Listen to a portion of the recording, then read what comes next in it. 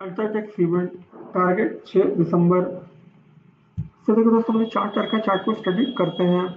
देखिए, Nifty 200 point गिर के जो है नेगेटिव क्लोज हुआ है लास्ट सेशन में। डाउ जोन्स देखिए, अमेरिका का मार्केट 100 पॉइंट गिर के नेगेटिव में क्लोज हुआ है। सभी यूरोपियन मार्केट दोस्तों, एक से दो परसेंट जो है नेगेटिव में ही क्लोज हुए हैं। निफ्टी फ्यूचर देखिए 100 पॉइंट गिर के नेगेटिव में क्लोज हुआ है। तो ये जो कोरोना का नया वेरिएंट है ओमनिक्रॉन इसके चक्कर में मार्केट में एक वीकनेस जारी है और नीचे का लेवल आपको दिख सकता है। अगर यही सिलसिला चलता रहा दोस्तों तो एक लॉकडाउन भी लगाना पड़ सकता है तो इस चीज़ को आपको ध्यान रखना है। नीचे के लेवल पे देखिए सेवन टू सिक्स वन एक सपोर्ट होना चाहिए। वो लेवल टूटा तो वीकनेस बढ़ेगी। तो सेवन टू सिक्स वन का एक सपोर्ट है।